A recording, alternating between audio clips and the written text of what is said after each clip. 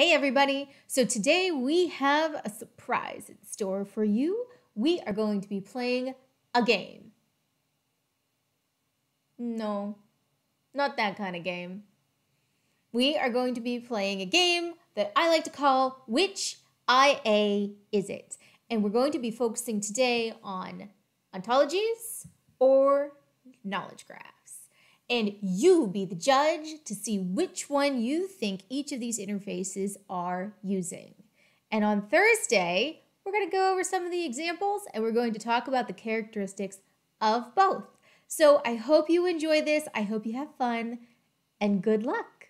Okay, so just keep in mind, I don't work for any of these companies. However, we are going to use these as examples to kind of pick apart what characteristics you can look at to identify whether something is using an ontology, a knowledge graph, or something else. So leave in the comments below if you want which you think each of these examples are. So with that, this is called live plasma. Live plasma used to look a lot better than this, and I actually loved using this as an example. It's not so nice anymore. However, this interface is used to help you identify other artists that are similar to one another. So you can see I selected Pantera, I was looking at Slayer, and ultimately I was looking at Metallica, one of my favorite bands. If you are a fan, put it in the comments below.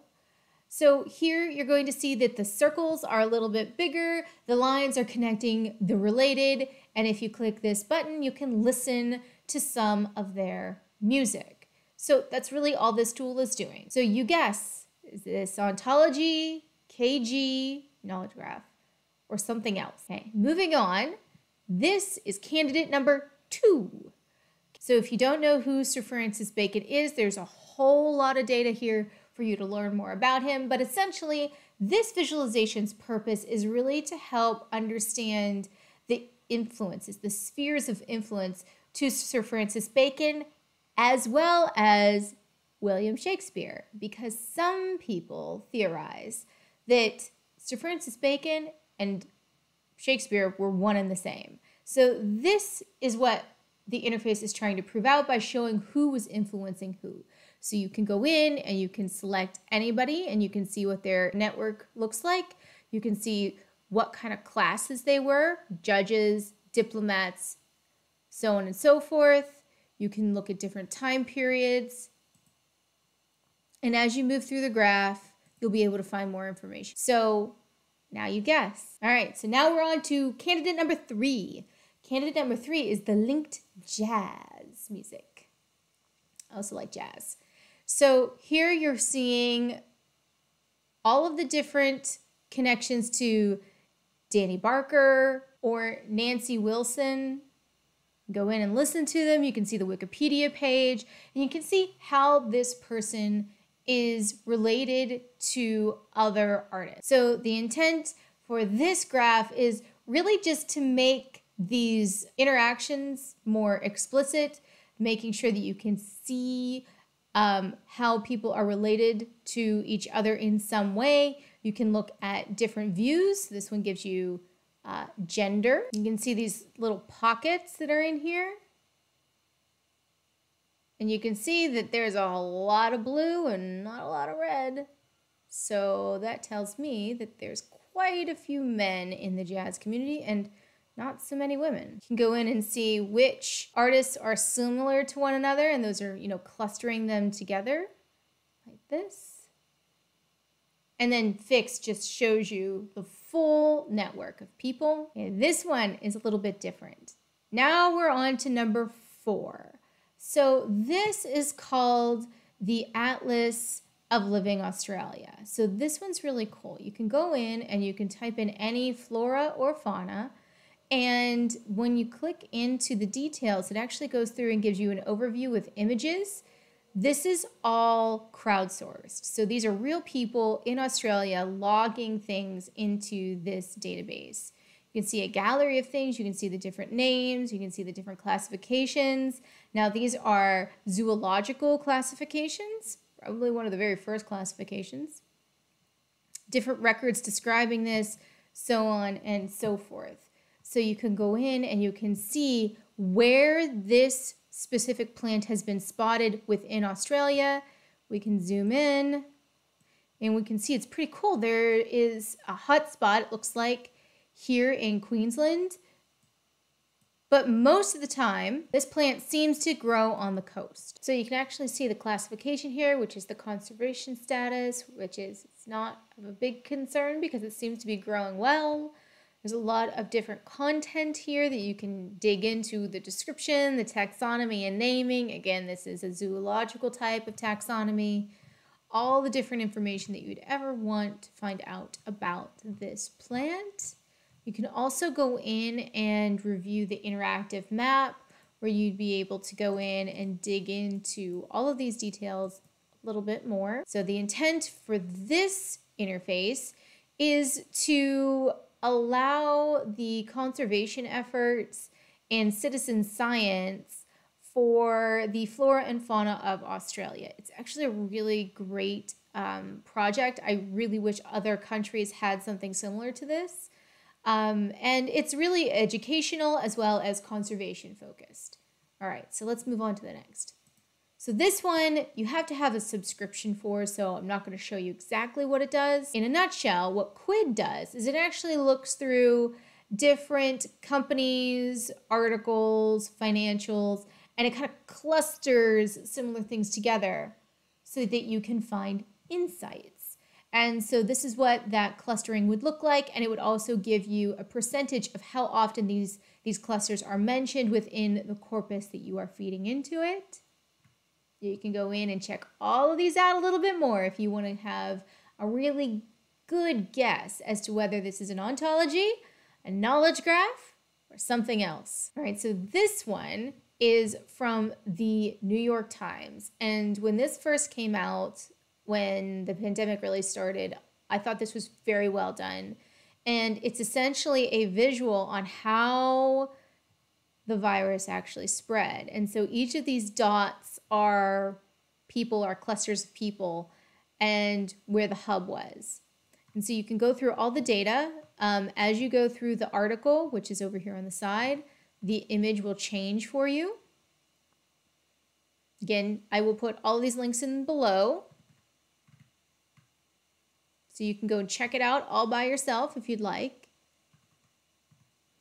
You can see how they're using the visual to tell the story.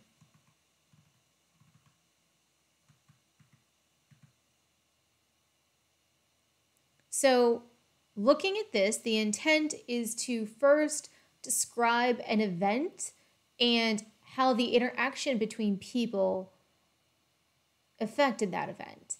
And this is one that, again, I think it was very well done. So the intent is really educational and to make something visually interactive um, that is a very serious topic to, I think, help people get through it a little easier and to make the information more synthesized. Now we're to everybody's favorite shopping experience. Maybe. So we're on Amazon, and you'll see that I'm looking at Bose noise canceling wireless Bluetooth headphones that are way, way, way too expensive for me. So let me go and look at what other things they could suggest. I go down, I can see what is frequently used together. Still doesn't help me because that is way out of my price range. I can see things that are sponsored, but some of these are much more in my price range. Okay, cool. So these are all sponsored, but they are related. So they're related in some way and then more items to explore. So these are things that Amazon feels that I might be interested in based on what I am looking at. So the intent here is to help me find similar items that I would want to purchase with this item or purchase instead of that item. So what do you think it is? What's the IA behind all of this? Now LinkedIn. So here's me. That's me. Those are all my connections. I used to have more, but periodically I go through and connections that aren't really active or I don't know, I, I, I say goodbye to. so here you're seeing newsletters that they are suggesting to me. You're seeing people that they are suggesting to me, and I can go through and actually see, you know, maybe why they are being suggested to me. Okay? So This is interesting. The intent here is to help me find interesting people and content to connect with. Moving on. So here we're on Airbnb. So they have an experiences functionality where you can go in and type in what experience you want, where, and what date. So I put in Cape Cod, never been there, sounds like a wonderful place if I could travel. And so going through, I can look at these different experiences. Now, these might be curated or these are just being displayed to me because I selected Cape Cod and that is using this as a filter. The intent here is if I was trying to find an Airbnb on Cape Cod, what are some things that I could do while I'm there? All right, next, I'm just on Google and I have done a search and I start to type in metallic and Google will suggest to me Metallica, the band. You see, it tells me it's a band, Metallica, San Francisco Symphony, 2019 film, fabulous CD, by the way, and a bunch of other things about Metallica. I can also look over here into what is called a knowledge panel. So it's a panel on, on the side. Google was one of the first to do this, so a lot of people are doing it now. And this gives me a quick fix on what Metallica is all about. So you can see additional links, you can see descriptions, and you can see other things that are similar. So what do you think it is? I think this one's pretty easy.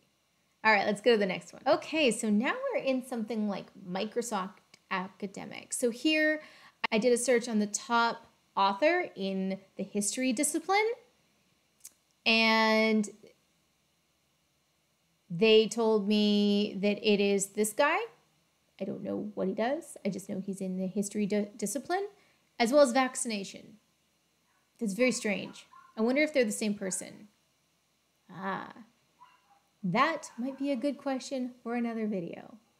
A lengthy video since people and data and trying to disambiguate it's kind of complicated. Okay, so I am looking at Steven Marsh and I am looking at all the publications. You can see nomenclature for the HLA system. Okay, so most of this looks like This is this is a good one. I'm going to come back to this. I didn't even anticipate this. So this has a ton of citations. It is almost all the same article, although these are two updates. They said this person was the number one person in history, although none of these articles are about history. In fact, this person only has three things to their name. Interesting. So if I wanted to go in and find out more about history and other similar things, I can do that over here. I can go over and look at the different topics. Again, one of these things is not like the other. I love this. I found bad data without even realizing it. it also goes through the different authors and different journals and institutions. Okay, so what do you think this one is functioning off of? Next up, this is really cool. So um, if you don't know the pudding, they do some really cool data science and news article kind of uh, stuff, a lot of really cool visuals. So this one is the largest vocabulary in hip hop. So rappers racked rappers ranked by the number of unique words used in their lyrics, which is actually really cool. So you can go in and read about how they did this. You can see on the spectrum, apparently NF uses about 2,400 unique words, whereas Aesop Rock uses about 7,800 unique words. And then there's a bunch of people all in the in between. So this is really cool. I wonder how they did this. Actually, tells you how they did this. If you're interested in reading more, the link will be uh, down below. Well, what do you think? What's the information architecture behind this? All right, so we are going to end this fabulous tour of data and cool visualizations, by the way, on a, I guess, a positive note. Game of Thrones is not such a positive show, but a lot of people liked it. So if we're looking at the seven protagonists, you can actually go through and look at who was doing things with who, and I'll leave it at that, and who was mentioned the most and their interactions, and you can actually go through all the different volumes. So, what's the information architecture? So you'll notice that a lot of these have similar visualization styles. Don't let that fool you. They don't all mean that they come from the same architecture. All right, so I hope you were taking notes because in Thursday's video, we are going to go through each of those and dissect whether we think something was an ontology, a knowledge graph, or some other kind of data structure. And let's see how you did. So with that, hope you enjoyed this. All the links are in the description below. Thanks for watching.